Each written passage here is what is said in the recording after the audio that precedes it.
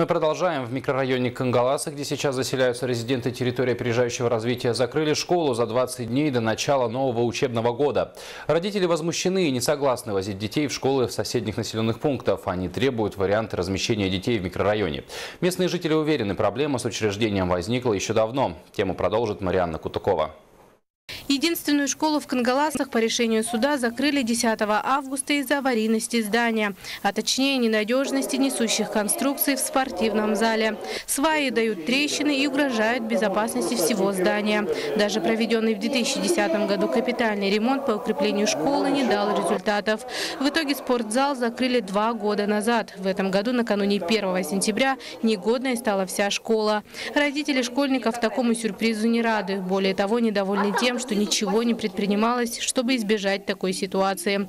Поэтому сегодня общая проблема родителей – не допустить обучения детей в Жатае, до которого 30 километров пути. Вы понимаете, что это не вариант возить детей в 50 градусов мороза, а вдруг автобус сломается?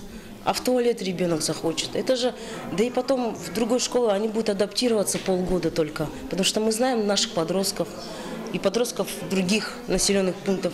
Они будут думать не о том, как учиться, они будут приезжать поздно. Они не будут заниматься, а ФГОС никто не отменял, дополнительного образования не будет. Это все-все вот так вот, как цепочка накапливается. Поэтому мы против ну, ждем, надеемся, что все-таки мы здесь останемся. По результатам переговоров и неоднократных встреч альтернативное решение нашлось. Пока школу будут восстанавливать, дети будут учиться в здании местной администрации и бывшего магазина. На сегодняшний день э, ведутся работы по реконструкции одного помещения для обучающихся начальной школы, а для среднего и старшего звена э, будут организованы э, обучение в помещениях местной администрации.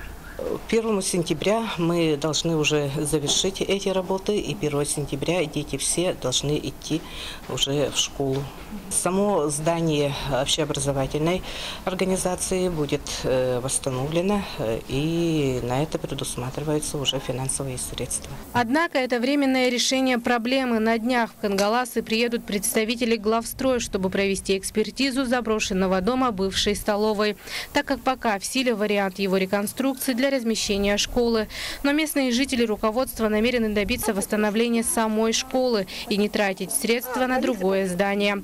Вместе с тем микрорайон Кангаласы объявлен территорией опережающего развития. В настоящее время из 10 резидентов свои производства запустили трое. Сейчас местные власти связывают надежды на изменение ситуации с приходом инвесторов.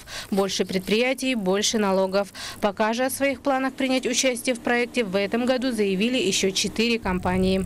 Марьяна Кутукова, Владимир Павлов, Максим Ростовцев, НВК «Саха», Якутск.